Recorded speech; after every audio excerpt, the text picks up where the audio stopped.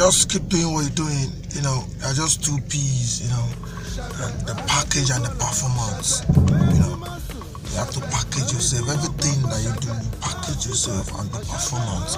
That makes it more expensive. That makes your that makes you a brand, and be very very prayerful. You know, music is spiritual. Don't do it in the physical realm and be prayerful. You know, don't just do. It's, it's not what you just you know just do and just do anyhow. Music is discipline. There's a lot of things you have to cut off to stay focused. So be prayerful, package yourself, then your performance. You know, one day, one day, one person just like, guy, can I just do this thing with you? And that may just lead to, know,